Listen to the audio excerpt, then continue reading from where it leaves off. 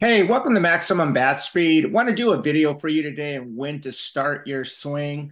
Now, when it comes to starting your swing, a lot of it's going to depend on how you do your gather, how you if you have a big leg kick, if you uh, just have a different approach. So this video right here, I'm going to kind of give you an idea what I'm talking about. And I, I know a lot of coaches out there have kind of a set time when you should really start your swing.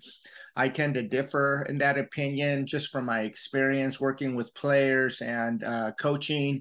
And I think this video will kind of, uh, again, give you kind of a better idea when to start your swing. And uh, maybe this uh, approach, depending on the player to the left or right, will benefit you. Now, what I recommend for all of you out here is while watching this video to try both methods out, okay? And there's in between. So that's a good thing for a lot of you out there who are struggling with timing, you're behind, or maybe you're out in front of the ball too much. A lot of it's going to depend, again, on your gather, uh, your leg kick, how you transfer your weight, a lot of other variables. But again, hopefully this video will help you. Now, as we get started here, watch what's going on here. And both these pictures are synced up right here. And I'm just going to kind of go through this very slowly so you can kind of see what's going on. You can see here on both sides, again, the pictures are synced up. They're getting ready to get into their pitch. And now pay attention to the player on the left, first of all, okay? Now we'll go ahead and draw a little circle right here around the uh, the foot area here, and I'll do the same here because this will kind of give you an indicator of when the actual player starts their swing. So as we go here, watch what's going on on the left. The player right here on the left, she's already lifting her heel, okay? And you can see this. And again, I'm going to just go by the go through this slowly on, on both these hitters. And again, the pitcher on the left has not even released her hands from her glove yet. But yet, you will see that the player on the left is already lifting her foot, okay? Now, if we go to the right, again, these players are synced up. You will see that the player on the right still has her foot down, okay? So you can see here, there's obviously two different approaches so far. And as we continue to go, you can see that the player on the left is continuing to lift her foot and barely now on the left, the pitcher is starting to release the, the ball from her glove, and so is the pitcher on the right, but yet the player on the right still has her foot down. Okay. So again, you can see here that it's obvious that both these players are starting at two very different times. Okay. And a lot of this, again, it's going to depend on the on the hitter. It's going to depend on your gather whether you have a smooth gather or whether you have kind of an approach where you kind of lift your foot and immediately you start working towards the pitcher, or you might have a very big leg kick where you're actually getting into your back hip socket a little longer and letting your body transfer back maybe two or three inches, where the player on the right, it's hard to tell from this angle, she might just be lifting her leg and immediately as she does that, her body transfers forward. Okay. And I've done videos on this. And if you go to my website, I'm sorry, to my YouTube channel, you will find that there's different ways and to simplify your gather. And that will, again, also determine when to start your swing. So back to this video here. Watch what's going on here. Again, these these pictures are synced up and you can see now that the hitter on the left she has a really big leg kick right there where the player on the right still has not even lifted her foot at all. Now way at this point right here you can see here on the right look on the right on the player on the right's left foot. You can see here that barely now at this stage of the swing she's barely now starting to lift her heel off the ground getting ready to get into the pitch. Now, we're on the player on the left, she's very much loaded. You can tell she's back in her back hip socket.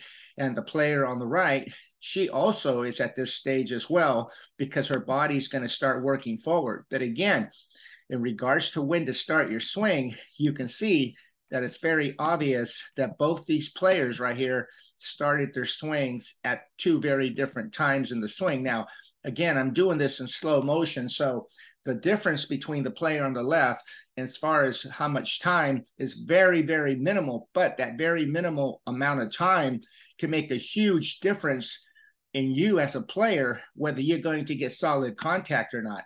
Now, as we continue to go here, watch what's going on here. You can see here, and I'm going to go ahead and erase this where the circle was.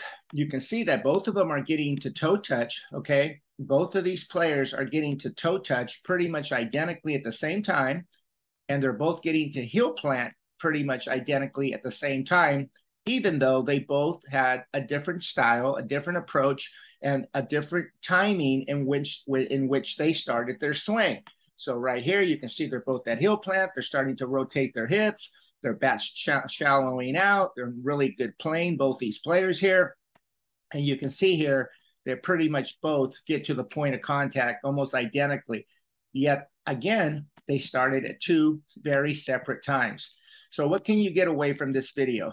Now, again, my suggestion for all of you out there would be when you're taking batting practice, if you are on deck, okay, I would definitely work on keeping an eye on what the pitcher's doing and pay attention to when the pitcher releases the ball and try both these methods. Where for you, you might be the kind of player on the left where because you have a bigger leg kick, you might have to start a little earlier.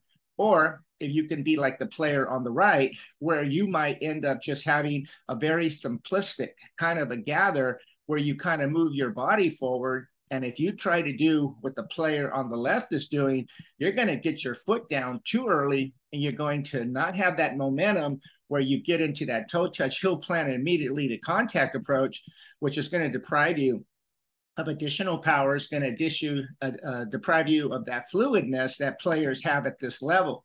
Now, again, this video right here, as you can see, it's very obvious that they both started at different times.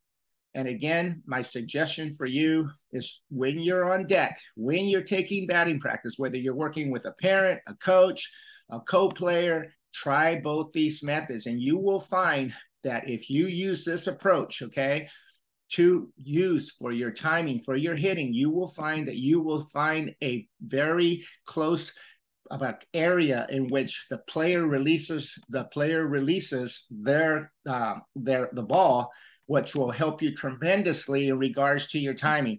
Now a lot of it's going to depend again on also the velocity of the pitcher okay? The pitcher might be uh, very fast or she might be a very slow pitcher okay? It just depends. So but again the more you understand the way a pitcher releases the ball, when, the velocity, what you're doing when you're on deck, all this stuff matters. And I hope this video right here is helpful to you.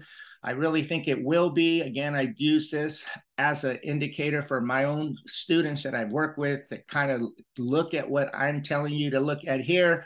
Please give me a like if you enjoyed this video. And also I do online video analysis Again, subscribe to my channel. There, I have over 100 videos that I think will be very helpful. Again, please give me a like and thank